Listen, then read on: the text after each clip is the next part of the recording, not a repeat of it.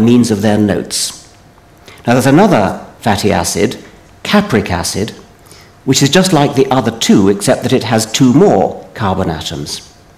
A dog that had never met capric acid would perhaps have no more trouble imagining its smell than we would have trouble imagining a trumpet, say, playing one note higher than we've heard a trumpet play before. Perhaps dogs and rhinos and other smell oriented animals smell in color, and the argument would be exactly the same as for the bats. Middle world the range of sizes and speeds which we have evolved to feel intuitively comfortable with is a bit like the narrow range of the electromagnetic spectrum that we see as light of various colors. We're blind to all frequencies outside that unless we use instruments to, to help us. Middle world is the narrow range of reality which we judge to be normal as opposed to the queerness of the very small, the very large, and the very fast. And we could make a similar scale of improbabilities.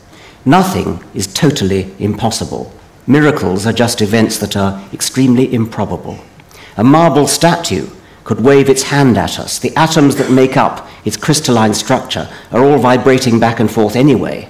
Because there are so many of them, and because there's no agreement among them in their preferred direction of movement, the marble, as we see it in Middle World, stays rock steady.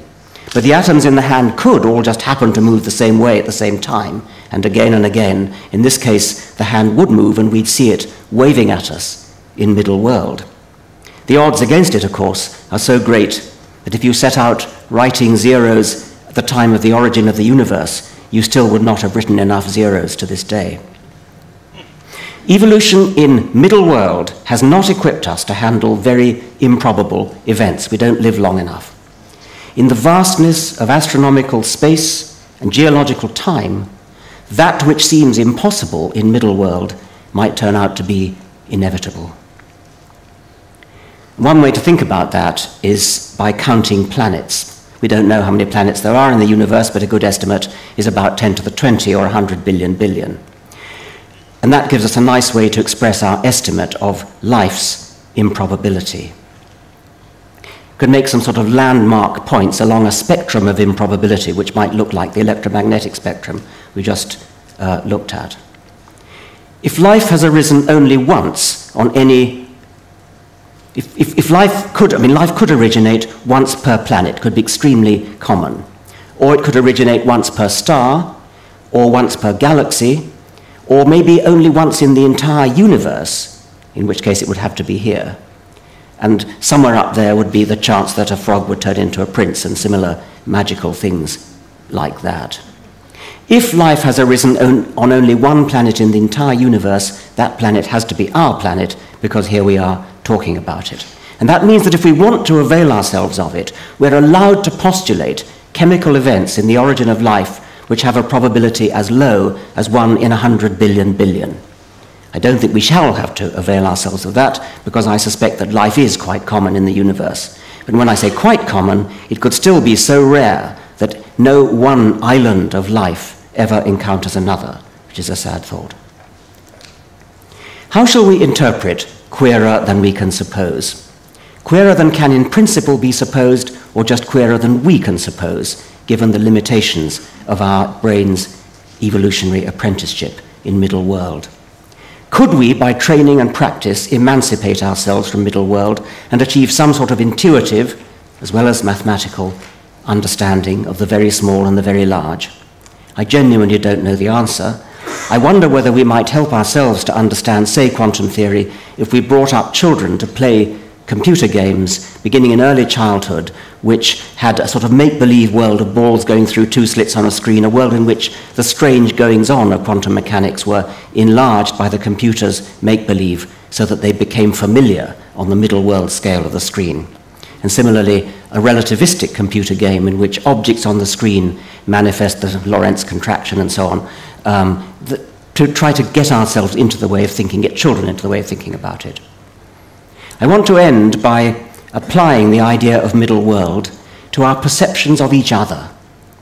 Most scientists today subscribe to a mechanistic view of the mind, where the way we are because our brains are wired up as they are, our hormones are the way they are. We'd be different, our characters would be different if our neuroanatomy and our physiological chemistry were different.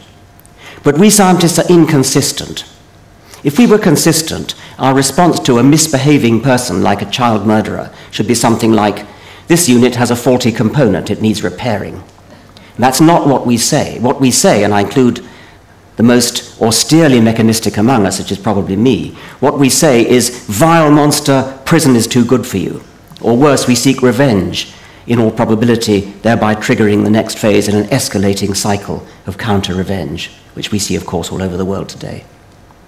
In short, when we're thinking like academics, we regard people as elaborate and complicated machines like computers or cars. But when we revert to being human, we behave more like Basil Fawlty, we remember thrashed his car to teach it a lesson when it wouldn't start on gourmet night. The reason we personify things like cars and computers is that just as monkeys live in an arboreal world and moles live in an underground world and water striders live in a surface tension dominated flatland, we live in a social world. We swim through a sea of people a social version of middle world. We are evolved to second guess the behavior of others by becoming brilliant, intuitive psychologists. Treating people as machines may be scientifically and philosophically accurate, but it's a cumbersome waste of time if you want to guess what this person is going to do next. The economically useful way to model a person is to treat him as a purposeful, goal seeking agent with pleasures and pains, desires and intentions, guilt, blameworthiness. Personification and the imputing of intentional purpose is such a brilliantly successful way to model humans, it's hardly surprising the same modeling software often seizes control when we're trying to think about entities for which it's not appropriate, like Basil Fawlty with his car, or like millions of deluded people with the universe as a whole. If the universe is queerer than we can suppose, is it just because we've been naturally selected to suppose only what we needed to suppose in order to survive in the Pleistocene of Africa? Or are our brains so versatile and expandable that we can train ourselves to break out of the box of our evolution? Or finally, are there some things in the universe so queer that no philosophy of beings, however godlike, could dream them. Thank you very much.